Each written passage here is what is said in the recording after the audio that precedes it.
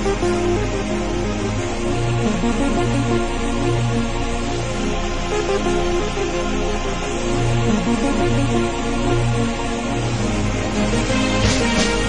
back.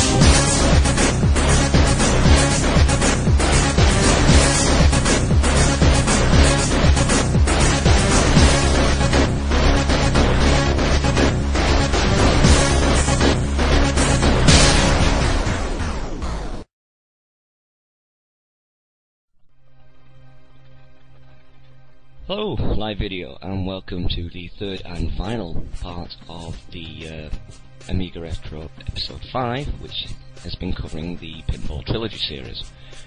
The game, obviously, from the intro you just viewed, is the third and final installment, which was Pinball Illusions.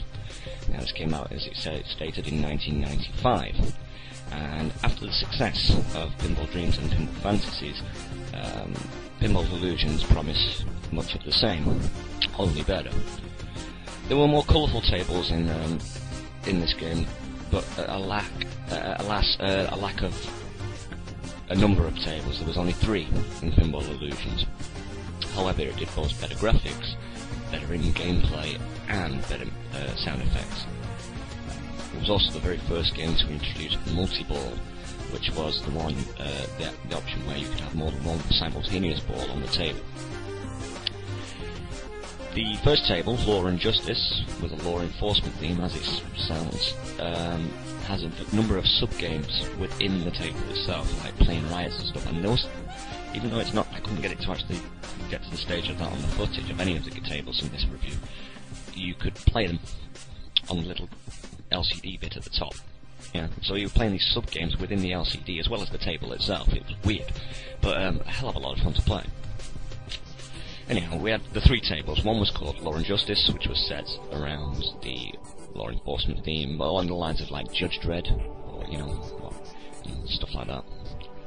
Uh, there was a second table called Baywatch, which was basically a parody of the TV show Baywatch, but um, that dealt with dealt with areas of like um, doing things like to impress the girls, surfing, racing, and all that stuff. You you know, typical 80s Baywatch style beach front thing. The third and final table was Extreme Sports, uh, which basically, you know, uh, skydiving, jet skiing, um, along with sub, uh, sub games like racing and stuff like that. Really, front three front three tables. The three tables as a whole were as good as any of the previous eight from the two other games.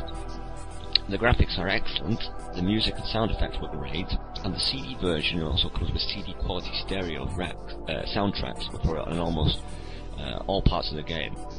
You know, overall a real improvement on the uh, poor, uh, poorly generated tracks, which were done with the 4.8 Paula chipset.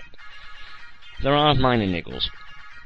Um, there are a couple of bugs which have been ironed out in, which should have been ironed out in the beta test including one crash. Yes, unfortunately, you even get to see that bug in this demo because on the third table it did do just that on me. um, although it, I, you know, although you get to see it on that one, the, the 1200 version, it was released on the 1200 obviously, and so it was the 1200 in 95 was still in its early days. There was the crossover between the Amiga ST to the PCs and consoles and stuff. So a lot of the games were being churned out to try and keep the, um, the systems, you know, the platform's popularity running. Alas, it never finally phased out and went underground. But as I say, there were some bugs in the game. Um, the CD, the CD Amiga version had a, slight bug crash uh, where it crashed on you, uh, especially on the Law and Justice table. It was kind of frustrating. Uh, um, but the problems were relit when um, you upgrade to a SCSI card, especially the Blizzard one. The CD soundtrack, um, however, does make up for it a, a lot. All in all, yet another game in the pinball series uh, from Digital Illusions team and 21st Century Entertainment. Short and sweet with this one because there wasn't much info available on the net to actually read, you know, to read out to you. However, enjoy the three uh, three tables, and I'll see you in episode six, where we'll be covering a completely different game, which I haven't chosen yet. Take care, people.